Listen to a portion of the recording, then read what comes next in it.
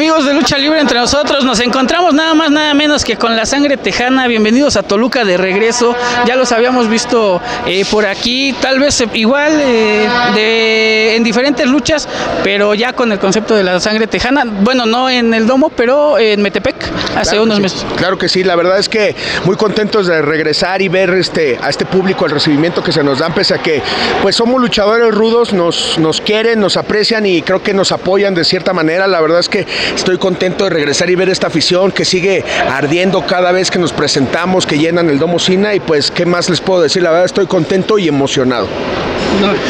Pues gracias a toda la gente que se dio cita, me da mucho gusto que la lucha libre aquí en Sinacantepec está creciendo y que se está dando cita pues toda la gente aquí abarrotando el, el lugar.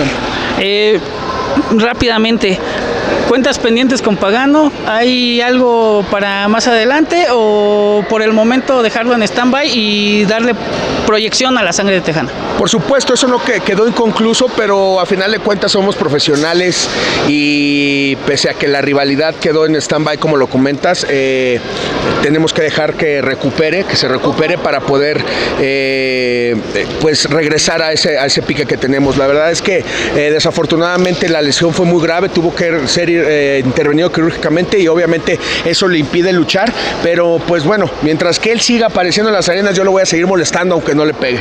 Así es. Y pues Supernova, ¿qué rivalidades te gustaría encontrarte para este, pues ya mediados de 2024? Pues mira, nos hemos enfrentado con lo mejor de la lucha libre nacional e internacional, entonces cualquiera que se quiera formar con la sangre tejana, pues está bienvenido. Están los golpeadores, nos hemos enfrentado mucho con Cibernético, mucho con Electroshock, con Charlie Manson, con todos ellos. Entonces no, no me quita el sueño que, que se formen los que se quieran formar con la sangre tejana. Muchas gracias y pues por último un saludo para la página Lucha Libre entre nosotros. Por supuesto, para toda la gente de Lucha Libre entre nosotros, de parte del Tex-Mex, de la Lucha Libre, el Tejano Junior y de Supernova, la sangre tejana, recuerden, siempre presentes aquí en Sinacantepec, raza. Saludos a todos, a todos los seguidores de la sangre tejana. Muchas gracias. Gracias. Gracias.